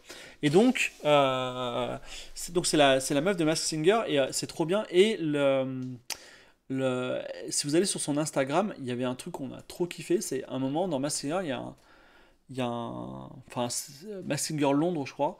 T'as euh, une grosse méduse, tu vois. C'est un, un, un costume de méduse et j'aimerais trop, euh, j'aurais trop aimé alors en extraterrestre, tu vois. Moi, j'aurais pris le costume de la méduse, mais bon. euh, et euh, ah non non, alors ne vous inquiétez pas pour l'argent. On a demandé de payer d'avance. Donc voilà. Et, et effectivement, la table, pas la table, on a enlevé la table. Il y a un scénario qui a été fait. On a, on a Paylib, il a fallu quand même. Enfin, il y a, aussi, euh, il a fallu créer aussi. euh, Vous savez ce, comment s'appelle ce petit euh, Mask Singer, c'est une émission qui est sur TF1. Il, a fallu créer l'interface Paylib. Le fait que ça apparaisse sur votre écran en direct, c'est pas rien, tu vois, il faut acheter aussi 5 téléphones, il y a plein il faut le truc pour mettre les téléphones dessus. C'est euh, des petites couches de taf, faire le prompt IA, faire l'IA, faire les, faire les images, tout ça, c'est... Moi, enfin, aujourd'hui, moi, euh, Game of Thrones, c'est vraiment un taf 24-24. hein. enfin, plutôt 7 jours sur 7. Voilà, plutôt pas 24-24. Mais donc, euh, non, mais Darty, euh, alors, Darty, on a eu un problème. Je saurais même pas le dire d'ailleurs. Mais vous inquiétez pas qu'il va se régler. Tout va bien. Ne vous inquiétez pas, c'est un, c'est un, ça a été, euh, ça a été, ça a été difficile à avaler, mais on va bientôt recracher quoi. voilà, tout va bien. Donc, les illustrations sur l'écran sont toujours faites en temps réel, même si là où on triche un tout petit peu, c'est que je leur dis ça va parler de ça, ça, ça, tu vois. Voilà. Donc ils ont le temps mentalement de, se dire voilà. Mais c'est vrai que c'est toujours du temps réel. C'est pour ça d'ailleurs qu'il y a une latence. Et ça, se fait par comment ça s'appelle? Ça se fait par euh, par euh, euh, merde. Ça se fait avec Jocelyn Grange, qui est devenu meilleur ouvrier de France graphisme, et, un, et Fletch, son compagnon, enfin son compagnon, son, parce que je l'appelais son sbire, mais c'est son collègue de travail. Et, euh, et donc, en fait, eux, ils sont à Lyon, ils voient l'émission en direct, et ils envoient en direct sur Discord euh, les images à, à Gozu, quoi. Euh, je sais pas si c'est sur Midjourney. Ça me... En fait, y a, ils sont deux parce qu'il y a un qui génère et un qui fait un passage Photoshop. Mais en fait, surtout, le fait de le faire en temps réel, c'est la seule façon acceptable pour nous d'utiliser l'image IA. Qui d'ailleurs, on va bientôt, enfin, on arrête en 2024. Mais pourquoi? Parce qu'en fait, si on devait les préparer à l'avance, euh, on utiliserait des graphistes qu'on paierait pour faire et n'utiliserait pas de l'IA. Aujourd'hui, il y, a un- débat euh, éthique sur l'IA.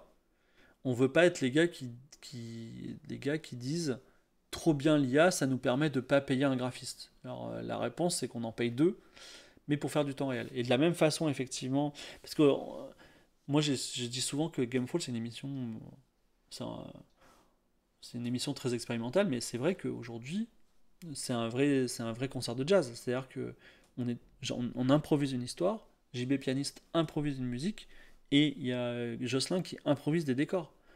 Tout ce que vous voyez, c'est euh, c'est 1, 2, 3, 4, et hop, on se met à jouer, tu vois. C'est com- c'est complètement fou. Je sais pas si vous vous rendez compte. C'est... euh, Enfin, tu vois, c'est pour ça que quand on fait tant de travail avec un tel résultat, le résultat, il peut être mitigé. Mais la performance, la performance est telle, enfin, je veux dire, euh, euh, peut-être dans deux ans, j'aurais arrêté parce que je suis fatigué. j'ai- Mais on était fou de faire tout ça, tu vois. Et euh, c'est... euh, Voilà. J'improvise pas mon scénario. Ouais, pas ça à 200%. Mais... Un conseil de livre sur l'IA. Pas celui de, pas de Copé, en tout cas. Et donc, euh, l'IA pose trop de soucis au niveau vol d'image, oui. Ouais. Bah, JB Pianiste était très fort. Il, lui, il bosse un peu en avance. Il s'est acheté un nouveau clavier grâce à Game of Thrones. Un très beau clavier, il fait plein de sons incroyables. Et euh, non, non, euh, je suis pas improvisé. Non, non seulement je suis pas dépassé, mais en plus j'ai pas assez de temps. C'est-à-dire que là, les- on est passé de 2h30 à 3h d'émission, je sais pas si vous avez vu discrètement, parce qu'on essaie de rentabiliser euh, tout ce qu'on investit. Et, euh, et là, à partir de l'épisode 3, aïe, on va s'amuser. Parce que, l'épi- euh, comme le disait la princesse Siroulan, les débuts sont des moments délicats. Mais effectivement, à partir du moment où le décor est planté, la mythologie est plantée, là, là ça va partir à 200 à l'heure. C'est euh, euh, c'est la vraie aventure qui commence vite et bien, et il se passe plein de trucs, et voilà. Ah, merci Araignée, ça me fait plaisir. Retour de dérive en guest, euh, oui, c'est possible. Je sais que vous aimez beaucoup dérive, mais avant. Enfin. Je suis désolé de dire ça, mais avant d'avoir les guests, on préfère avoir une bonne histoire. voilà. C'est. Qu'est-ce qui sommeillait au cœur de la planète? Non, je peux pas vous le dire parce que c'est lié à la fin de l'aventure. Vous savez, souvent dans Game of Thrones, le début, le premier épisode est souvent très lié au, dernier épisode. Donc, euh, Alpha va revenir. euh, Ça va, c'est bon, vous l'avez eu une fois. En fait, en fait, avoir un invité supplémentaire, c'est vraiment très compliqué. Ça veut dire des positionnements de caméra différents, euh, du son, il faut faire venir le gars. En plus, c'est une surprise à chaque fois, tu vois. Il faut, ils viennent de Montpellier et oh, ça va. Donc, euh, à quand Eric et Ramsey, Brad Pitt? Ah, ça peut être intéressant, euh, des gens euh, venus de l'extérieur. Bon, on reviendra. Je sais pas si vous avez vu, vendredi prochain, il y a un très beau. euh, il, y a un, jeu de rôle avec MV, JDG, Antoine Daniel et je sais plus qui. J'espère que je sais plus qui n'en prendra pas ombrage. Sur le monde d'Avatar. Bon, Alexandre Astier. euh, Un conseil dans la construction de l'or. Tiens, je vais te donner un conseil sur la construction de l'or. Euh, angle droit. Euh, D'ailleurs, le MJ, c'est euh, Ultima Verba. Un conseil de la construction de l'or, le voici. Les gens n'ont pas. Les gens. Mais je m'inclus, d'accord. Je ne vous juge pas. Je m'inclus dedans, d'accord? Les gens, nous, nous n'avons pas de culture générale. On connaît le petit chaperon rouge, mais est-ce que vous connaissez euh, l'histoire euh, du cochon et de la saucisse Tu vois, je sais pas, tu vois. euh, la saucisse magique, tu vois. en fait, on connaît pas trop les mythologies. Alors, on peut connaître, tu vois, grâce à Marvel, on, voit Thor, Asgard, tout ça, mais qui pourrait parler de la mythologie du Népal, tu vois, ou de la mythologie des principes primordiaux même de, de l'île de Pâques, tu vois? Mais en fait, ce qui est bien, moi, mon conseil de l'or, c'est que tu regardes, tu vas sur la page Wikipédia de mythologie, alors y a, le vrai terme c'est mythologie comparée, tu vois, mais mythologie, euh, je sais pas, de telle culture, de la culture euh, indonésienne, tu coupes-colles, tu mets tes noms à la place. Moi, je mets même pas les noms, tu vois. Je mets, je modifie, je prends, je prends les vrais noms euh, égyptiens, par exemple, la mythologie égyptienne, et je le présente comme ça. Pourquoi? Parce que les gens vont dire, waouh, c'est trop cohérent. Bah, c'est normal, c'est une mythologie qui est, une survivance euh, de quelque chose qui a duré très longtemps. Donc, waouh, c'est trop cohérent. Et deux, les gens ils vont sortir de ton jeu de rôle. Et en fait, ils ne le savent pas, mais ils sauront la mythologie indonésienne, tu vois. Et un jour, il y aura question pour un champion, il dira quel est le nom du grand crocodile, euh, dieu euh, d'Égypte, tout ça. les gens, ils vont buzzer, ils vont dire Sobek Et parce qu'ils l'ont vu dans Game of Thrones, c'est tout, voilà. Donc, euh, bah oui, le barat, euh, ça, me rattrape. Mais ouais, vous connaissez pas la saucisse magique? C'est l'histoire d'un couple de cochons qui découvre une saucisse magique. Cette saucisse magique, elle permet trois vœux, ok? Donc, non, excusez-moi, non, c'est pas ça. Je, je- confonds. C'est c'est le conte des trois vœux. Attends, c'est un couple de cochons. C'est un couple de cochons, mais ils vivent dans une maison, d'accord? Et euh, il une, ils découvrent un caillou magique ou une fée magique, peu importe. Elle, leur donne trois vœux. Ils ont droit à trois vœux. Alors évidemment, ils réfléchissent, ils disent qu'est-ce qu'on veut? Et en fait, le cochon, on sait pas pourquoi, à un moment, il en a marre et il dit, tu sais quoi, je voudrais, manger une saucisse. Donc il y a une saucisse qui apparaît. Et sa femme dit, mais attends, mais on, pouvait demander ce qu'on voulait, t'as demandé une saucisse. Mais tu sais quoi, je voudrais que cette saucisse, elle te pendonnait. Donc la saucisse s'accroche à son groin. Et la saucisse, donc il est vachement malheureux. Et dit, ben moi, je souhaite que la saucisse ne pende plus à mon nez. Mais la saucisse tombe, voilà. Et du coup, ils ont épuisé leurs trois vœux. Mais c'est un, c'est un, c'est un conte euh, très fondamental, très intéressant parce que, en fait, il, il explique euh, l'importance du chiffre 3 dans l'hum- l'humanité et pourquoi le 3, ça revient souvent, pourquoi 3, il est même, on dit la Sainte Trinité, pourquoi? Parce qu'en fait, 3, ça représente le nombre d'actes, d'actions qu'il faut faire pour progresser. C'est-à-dire que, en fait, l'humanité, un humain, il va faire une chose, il va toucher le feu, donc il va dire aïe, ça brûle, il va, donc première action, il va retirer sa main, deuxième action, et troisième action, il va ne plus euh, toucher le feu et mettre sa main ailleurs, tu vois. Donc la progression fonctionne toujours par on fait une action, on va en arrière et on, re- on réaméliore. C'est pour ça la, la magie du chiffre 3. Et c'est pour ça qu'il y a toujours trois vœux. Voilà. Maintenant, pourquoi le chiffre 7 il est important? Parce que le chiffre 7, c'est euh, l'addition du chiffre 3, qui est le- les trois vœux, et l'addition du chiffre 4, qui correspond aux quatre coins de l'univers. C'est le chiffre de l'univers. Parce qu'on croit. quand, quand on ne savait pas que la planète était ronde, on regardait des cartes et on pensait qu'il y avait nord, sud, est, ouest, il y avait les quatre coins de l'univers. C'est pour ça qu'on dit littéralement l'expression les quatre coins de l'univers. A- L'univers n'a pas quatre coins, mais on pensait que c'était ça. Donc, effectivement, la- le chiffre euh, divin, le chiffre parfait, c'est l'addition de l'univers et, euh, du, chiffre magique 3, euh, de l'expérience, de l'univers et de l'humain. Et c'est pour ça d'ailleurs que le chiffre 6, c'est 7 moins 1, c'est le chiffre qui n'est pas parfait, c'est le chiffre imparfait. Et c'est pour ça que 666, c'est le chiffre du diable, parce que c'est un chiffre qui est transcendé par le divin dans son imperfection. C'est-à-dire que c'est un chiffre, chiffre ultra maléfique parce que c'est la- l'imperfection faite divinité. Voilà. Le 54, je sais pas. Il y a beaucoup de gens, euh, par exemple, Kratu qui est là, elle aime le 28. T'aimes bien le 28 ou pas? Non. T'aimes pas le 28 Bah non, c'est toi qui as décidé que j'aimais le 28, mais j'aime Ah, Moi, les- euh, je connais des gens, ils adorent le 28 et ils adorent même le 8. Mais ça, c'est les, c'est les, comment ça s'appelle C'est les Asiatiques parce que c'est un homophone de la, de, la- de la, de la prospérité, ouais. D'ailleurs, beaucoup de femmes s'empêchaient de.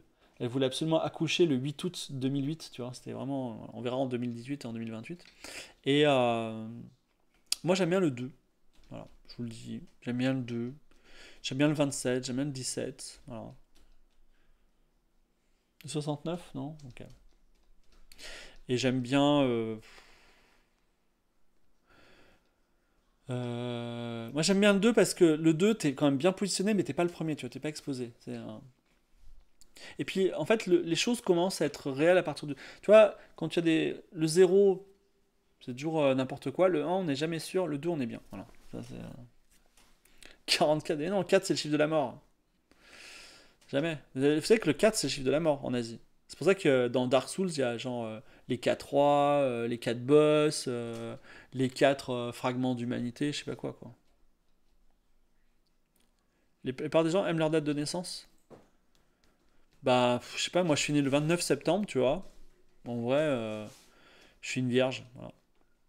D'ailleurs, euh, c'est comme ça qu'on m'appelait au lycée, toujours vierge. À cause de mon. Les 4 fantastiques.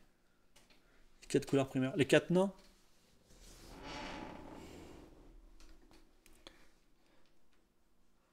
Et euh, ce qui est beau, les, les quatre couleurs de l'arc-en-ciel. Bah, il y a des gens qui considèrent que le 13 c'est un jour euh, bénéfique, je sais pas. Les 4 Il y a quarts. un vendredi 13 bientôt. Il y a un vendredi 13 bientôt bah. Tu veux jouer au loto ou pas? Est-ce que tu veux jouer au loto? Ou est-ce que tu veux gagner ton argent à la sueur de ton fond C'est ça la question. Et si je te disais que tu étais sûr de gagner à 200% au loto, tu jouerais ou pas Euh, non, je crois pas. Gratu, elle aime pas l'argent. Elle me dégoûte. Le 29 septembre, c'est pas balance. Ouais, je suis balance. Le 13 octobre, c'est pour l'euro million. Mais euh... Quoi? Bah, la chasse d'eau là, j'arrive pas, à- on a, on a un problème de plomberie terrible. Il va falloir que j'éteigne ce stream et que j'aille j'aille regarder ce problème de plomberie et dire j'arrive pas à le régler. Au pire, au pire, tu donnes tout si t'aimes pas l'argent. Les Catherine, ouais. Bref. Euh, est-ce qu'il y a, est-ce qu'il y a eu un, livre compte- un live compta? Non, malheureusement. Est-ce que vous avez- je vais bientôt arrêter ce stream parce que y a, on a un souci de prendre plomberie. Est-ce que vous avez des questions sur Game of Thrones? Je réponds Non, rapidement. Question-réponse. Donnez-moi Non, non, c'est juste 10 minutes. Les 4 égories. Vous aimez bien le chiffre 4, j'ai l'impression. Le, le club des 4 Bientôt la série Le club des 5. Il y a un match ce soir? J'ai un joueur qui s'est amputé le bras après avoir eu une marque Il est sauvé ou pas? Il est sauvé, oui. As-tu la BD Transmétropolitain Non. Les 4 travaux d'Hercule, d'accord. Les 4 muses?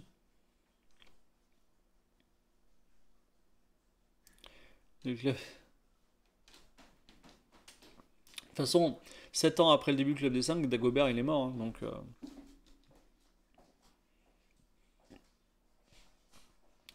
Le gouvernement des humains est très pacifique dans Galaxy. Est-ce que ça va changer? C'est assez intéressant parce que euh, dans le monde de Galaxy, la guerre n'est une chose qui n'est comprise que par les humains.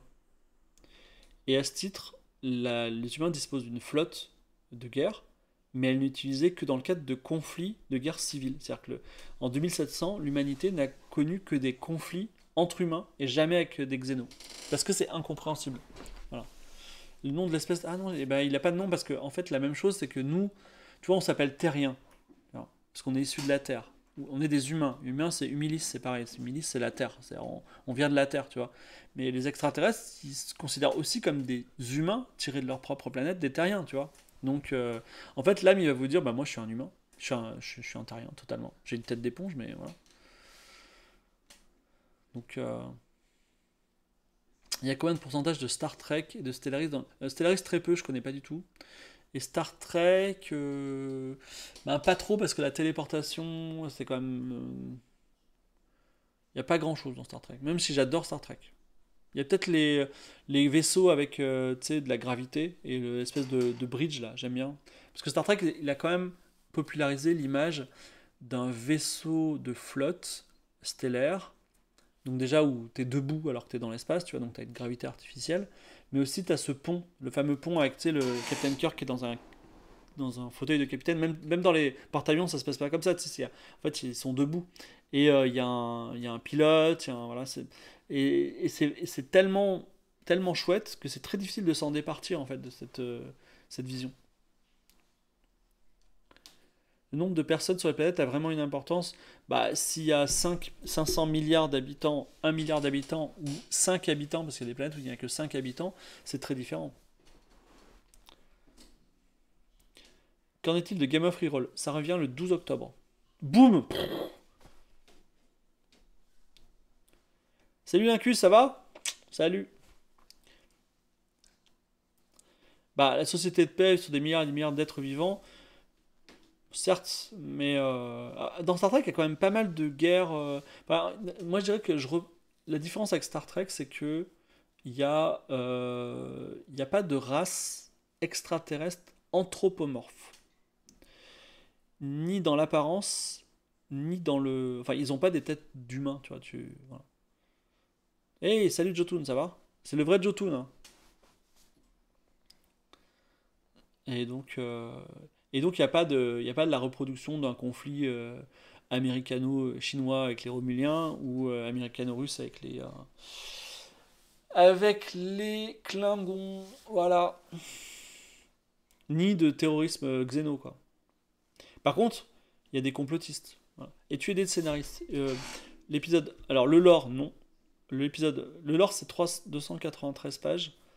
Euh, l'épisode 1 et 2, je les ai écrits totalement. L'épisode 3, j'ai dicté le synopsis à, Vincent Estria qui l'a bien fait. Après, j'ai quand même fait de repasse. J'ai refait un peu la fin, on pourra peut-être faire un avant-après, c'est marrant. L'épisode 4, je ai dicté le synopsis, il l'a écrit, il faut que je le regarde. Voilà. On va voir comment on va avancer. Mais j'aimerais bien qu'à. Je vous cache pas qu'à un moment, j'aimerais bien qu'ils aillent dans l'after. Bah oui. Moi, je voudrais. Joto dans somme était si rentable Oui. Du coup, pour la prochaine session, ils partent en mode équipage d'un vaisseau. Alors, je peux pas en dire autant, mais c'est sûr que je peux, je peux pas vous promettre qu'ils auront un, ils auront un vaisseau seconde 1 de la prochaine épisode, mais en tout cas, je peux vous dire deux choses. Ça va commencer sur Ibid Zion, et euh, s'ils ont un vaisseau, parce que c'est des vaisseaux qui fonctionnent sans carburant, donc s'ils ont un vaisseau, il y aura une, carte que vous aurez, mais une carte stylée cette fois-ci, une carte euh, lisible, euh, voilà.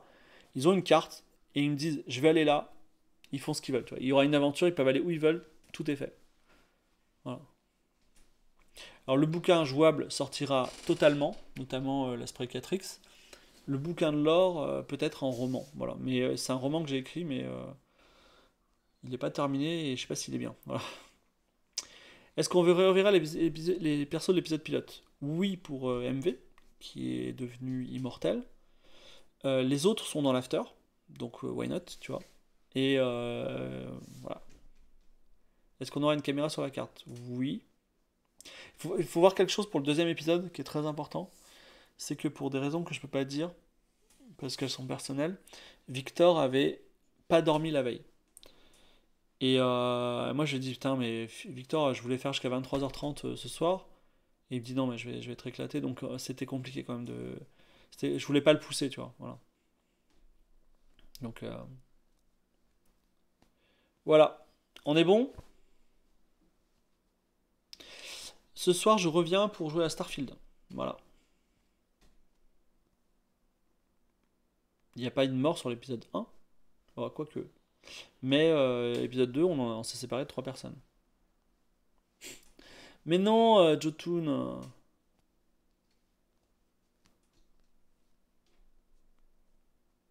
La VOD YouTube sera dispo bientôt, probablement.